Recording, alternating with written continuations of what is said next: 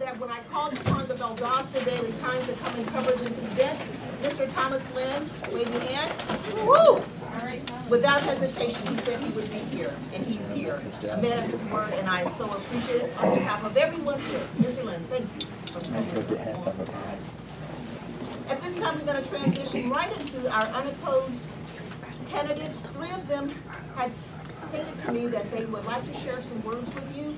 Again, they're running out of unopposed, so they have two minutes to share their platform and where would they like, where would they like to take the city. So we're going to move right into that at this particular time. I need, I know who the three people are. I'm sorry. Ready for? Apologies. Vivian Cody, are you here? Representative Cody? I'm here. All right, ladies always first, right, gentlemen? Let's welcome Vivian Cody. And I'm going to stand. To everyone that don't know, my name is Vivian Miller Cody. I represent the city of Valdosta slash District One. I am very thankful to you, you, and you. Again, I've learned a lot. I've done a lot.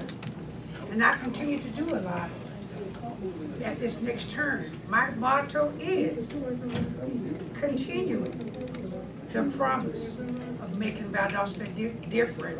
And if you follow me in District One, you know we have made a difference. So keep following me.